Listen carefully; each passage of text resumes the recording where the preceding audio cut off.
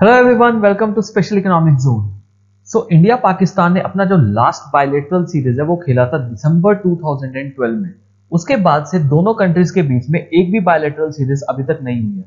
इसके रिगार्डिंग जब हमारे minister of external affair S Jaishankar ji से पूछा गया कि इंडिया पाकिस्तान की क्रिकेट सीरीज़ कब होगी तो उसको लेके उन्होंने एक बहुत ही ज़्यादा स्ट्रॉन्ग मैसेज दिया कि जब तक क्रॉस बॉर्डर टेररिज्म नहीं रुक जाता, तब तक इंडिया पाकिस्तान की कोई भी सीरीज़ जो है वो नहीं होने देंगे। इस वीडियो में हम डिटेल में डिस्कस करेंगे कि उन्होंने क्या कहा। वीडियो को शुरू करने से पहले चैनल को ज़रूर सब्सक्राइब कीजिए और बेल आइकन को प्रेस कीजिए ताकि आपको जो लेटेस्ट वीडियोस के अपडेट्स हैं साथ ही साथ मिलते रहे। टूर्नामेंट्स कीप कमिंग ये कहा है हमारे external affair minister S Jaishankar ji ने, जब उनसे इंडिया पाकिस्तान के क्रिकेट टाइज के बारे में पूछा गया। आपको पता है कि इंडिया और पाकिस्तान जो लास्ट बायलेटरल सीरीज़ है, वो 2012 में खेली थी, जब दिसंबर में पाकिस्तान ने इंडिया में ट्रेवल किया था। बीसीसीआई ने अलाउ किया था पाकिस्तान को कि आप इंडिया में आके एक बायोलेटरल सीरीज़ खेलिए बट उसके बाद से इंडिया और पाकिस्तान के बीच में कोई भी बायोलेटरल सीरीज़ जो है वो नहीं हुई है।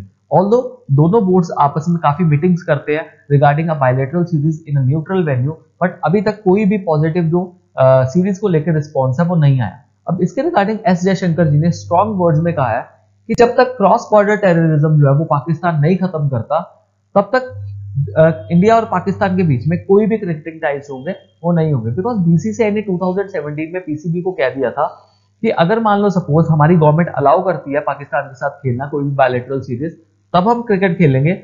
अगर हमारी गवर्नमेंट नहीं अलाउ करती है तो हम उनके साथ कोई भी क्रिकेट मैच जो है वो नहीं खेलेंगे। अब एस जयशंकर जी ने कहा कि पाकिस्तान एक बहुत ही ज़्यादा मेजर प्रॉब्लम क्रिएट कर रहा है regarding cross border terrorism in India जिसकी वजह से इंडिया में जो पीस है और हारमोनी है।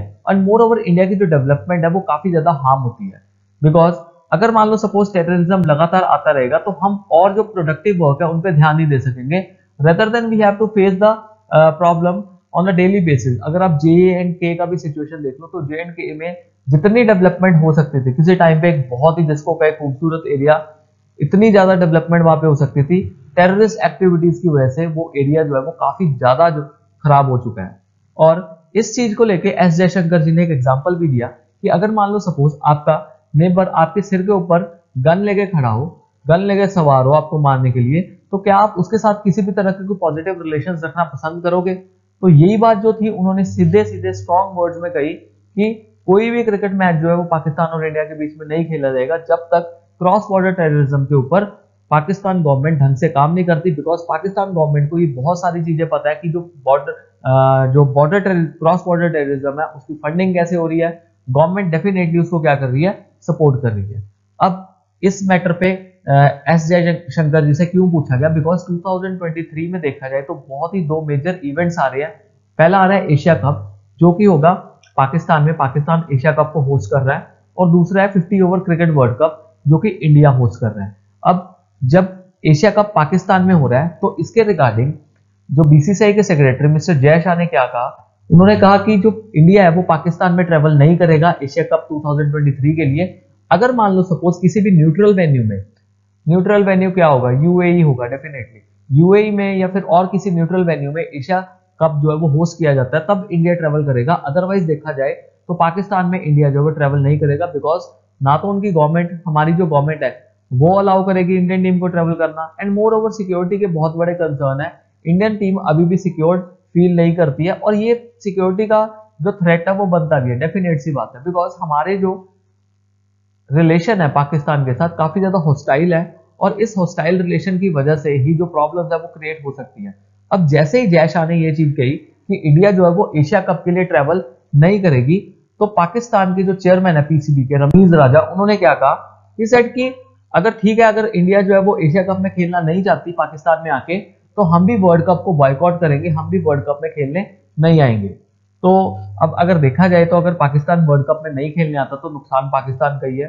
एज सच हमारा कोई खास नुकसान होने नहीं वाला। हाँ व्यूअरशिप में थोड़ा बहुत फ़र्क पड़ेगा ही पड़ेगा बिकॉज़ एक जो जो कॉन्टेस्ट होता है ना इंडिया और पाकिस्तान का तो वो तो देखने लायक बनता ही बनता है।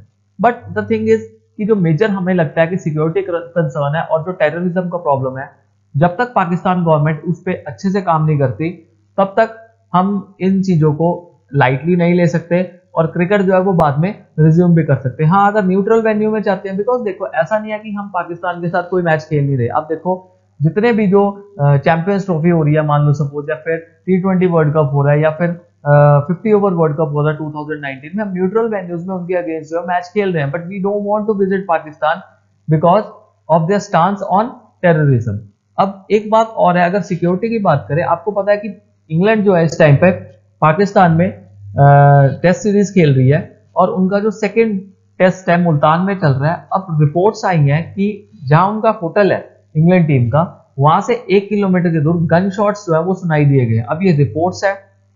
तो इस चीज़ को लेकर देखा जाए तो सिक्योरिटी कंसर्न तो पाकिस्तान में हमेशा से ही बना रहता है। श्रीलंकन की, श्रीलंका की टीम पे तो एक बहुत ही बड़ा टेररिस्ट अटैक जो था वो हो चुका था।